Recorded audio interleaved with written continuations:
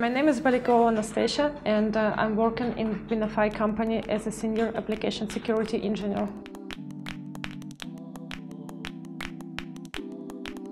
In Harbour I'm teaching Internet of Things security course for my students. Uh, the course includes a lot of information about uh, modern smart devices and uh, security issues which related to this world. Internet of Things is so widespread technology now. Everything is connected to each, uh, to each other. Every device you can find is kind of smart device.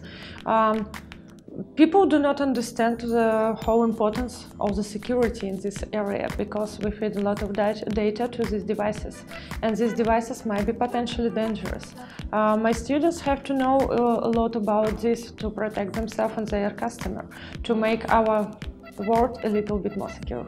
My course was mostly the offensive point of view, but we covered also uh, some defensive questions and aspects of the course, of course. In case of um, security of Internet and things uh, of things, my students now are able to extract the different firmware and analyze against known vulnerabilities and zero-day vulnerabilities. They have a lot of knowledge how to verify the security of a whole device and a system of ecosystems.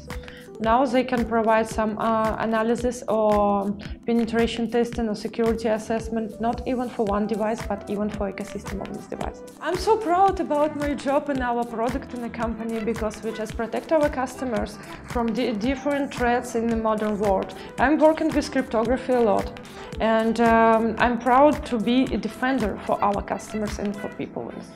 Mm, I can say for my students, be curious, always be curious, be a researcher, be an engineer and be a smart people.